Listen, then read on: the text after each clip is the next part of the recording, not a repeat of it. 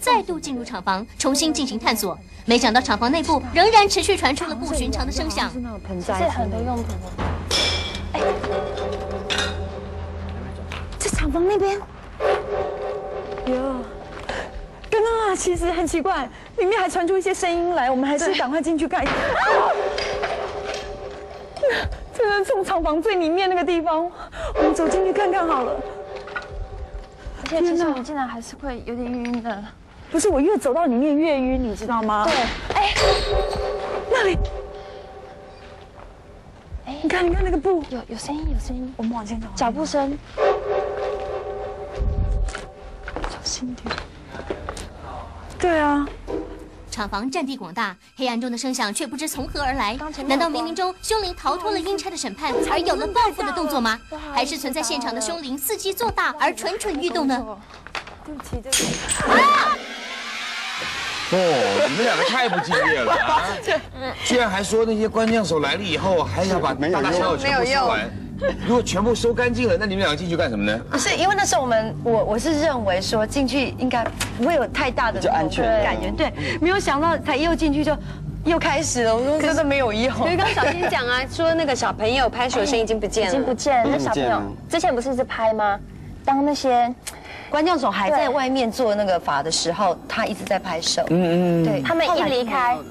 一点声音都没有，而且很特别的一点就是，刚开始的时候你们发现我头发一直乱飞，有没有？我们一进去之后，就是关将手离开之后，就风平浪静，完全没有风，代表有用。其实像我蛮好奇一点，想请问谢老师，在什么样的情况下才需要请这些关将手啊，或者是这些石家将？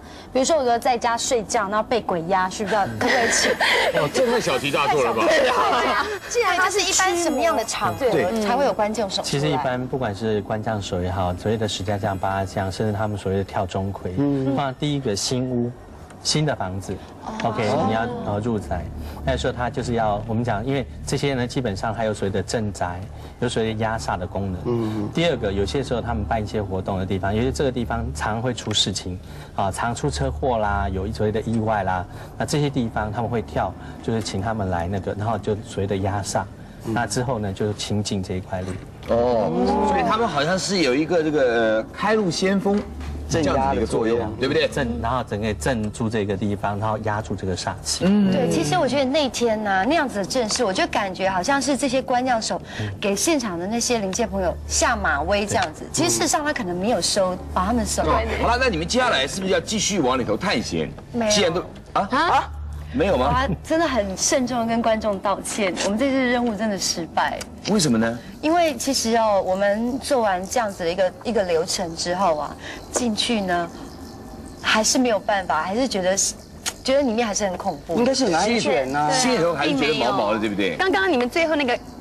啊一声，然后有听听到那个声音，到底是怎么回事？因为那个瓷器啊，就是倒下来了，整片倒下来。对，它是整个在后面，你知道一望无际，上千平的那个瓷器工厂，我们这样看过去没有尽头的。怎么可能啊？如果说他们来过了，我想说应该我在那边我我就睡一晚。没有，我就想说我们下一次真的在准备好之后，鼓起勇气再去一次，要不然就真的要麻烦小饼带观众去看一下。不过呢，一般人呢，在你进去了以后，发现状况不断。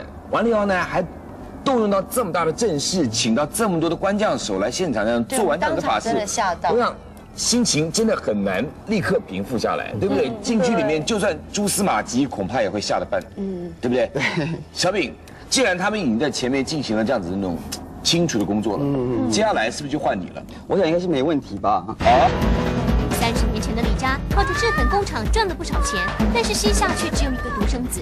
当儿子娶妻之后，媳妇儿遭受到婆婆不少的欺虐，甚至诬赖他偷了传家的首饰，还跟左邻右舍张扬他的不孝，造成媳妇儿受不了而上吊自尽。后来因冤魂不散，导致制粉厂因此荒废。